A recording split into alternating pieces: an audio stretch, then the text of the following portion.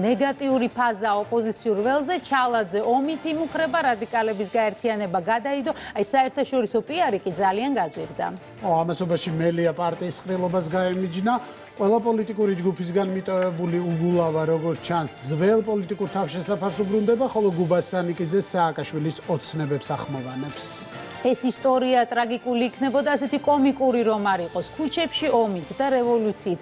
ქართულ სახელმწიფოს გიორგი ჩალაძე ემუქრება. ჩალაძე უბრალოდ ჩალაძე აღარ არის ის ახლა. მიხელ სააკაშვილის განმანთავისუფლებელი მოძრაობის მეთაურია უკვე ნაცმოძრაობის პოლიცსაბჭოში აირჩიეს და რეგიონული შტაბებიც ჩააბარეს უმაღლესი ხელმძღვანელობის ასეთ ნდობას კი გამართლება უნდა და ჩალაძემაც აიწყვიტა. ჯერ გამოაცხადა რომ თუ სააკაშვილს არ გაუშვებენ ხელისუფლება ქუჩაში ომს მიიღებსო თან განმარტა რომ ეს მუქარა მოგვიანებით კი განავრცო ნუ გვეშინ შეგვეშინდება რევოლუციის რევოლუციაც კარგიო. პირველი აპლოდისმენტები პატიმრის დედისგან მიიღო გიული ალასანიასთვის ბრძოლის ყველა ფორმა მისაღებია მთავარია შედეგი სწრაფად დადგეს. რაც სრულიად გასაგებია საერთაშორისო პიარი გაძვირდა ლობისტები მიშას მოწამვლასა და წამებაზე ზღაპრების შეთქმულაში სულ უფრო მეტ ფულს ითხოვენ ოჯახის მეგობარ ჩალაძის მსგავსად ომის რიტორიკა სააკაშვილის სპიკერ გუბას სანიკიძის ლექსიკაშიც გაჩნდა.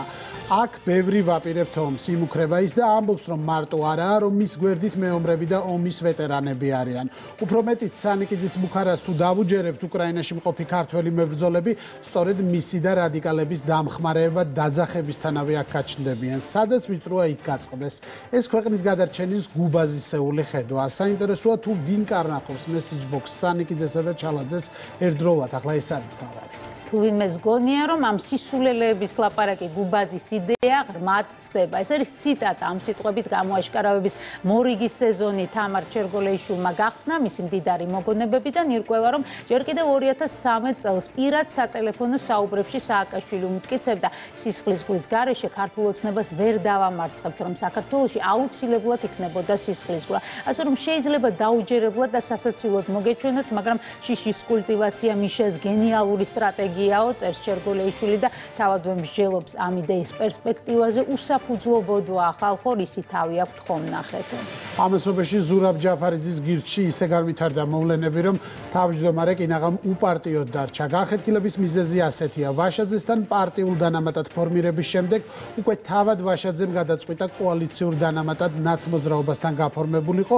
ანუ მერაბიშვილ კეზერაშვილის კლანთან დაიწყო პოლიტიკური რომანის გაბმა რასაც როგორც ამბობენ ჯაფარიძე ხარაძის გირჩი პარტიის წევრების ჯერ შიდა მუხარები მოხვა, ხოლო შემდეგ კი საჯარო განცხადებები გაკეთა, რომ მერაბიშვილის კოალიციაში საკუთარ ადგილს ვერ ხედავენ. როგორც ჩანს, ჯაფარიძემ ახლა ჩათრევას ჩაყოლა ამჯობინა და თქვა, რომ დიდი კოალიციის საკითხს 2024 წელს დაუბრუნდებიან, ხოლო სამეული ფორმალურად ერთად აგრძელებს მუშაობას, თუმცა ვაშაძე გეგმების შეცვლას არაპირებს და მერაბიშვილის კლანთან მოლაპარაკებებს, როგორც წყაროები ამბობენ, მალე დაიწყებს. საინტერესოა ამ შემთხვევაში ჯაფარიძე უგულავოს პოლიტიკურ ბეცხომარ გაიზიარებს. ამას ალბათ მალე გავიგებთ, თუმცა დღეს კი შეიძლება ითქვას, რომ როგორც იქნა საზეიმო ვითარებაში ნაცმოძრაობის ყრილობაზე ხავეიშვილის სცენაზე ავიდა და პარტიის დამშლელის გვირგვინიც თავზე ოფიციალურად დაიდგა. უსიამოვნო სიურპრიზებიც მალე დაიწყო. მას თავმჯდომარეობის ვადა გაუნახევრეს, ჯერ სად არის შეიძლება მალე დენი გრაფიკითაც კი მიაწოდოთ.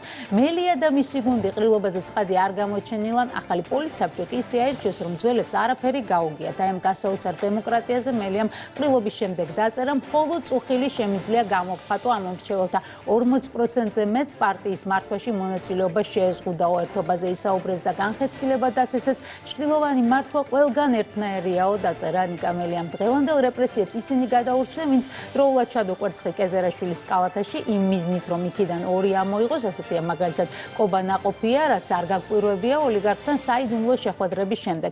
ყრილობაზე გამოჩნდა ამ დრომდე გაუჩინარებული გიგი უგულავა გამოცდილი პოლიტიკოსი ჩვეული პრინციპულობით დაელოდა არჩევნების შედეგების ოფიციალურად გაფორმებას და მხოლოდ შემდეგ გზნებარე სიტყვებით მიულოცა გამარჯვებულ მხარეს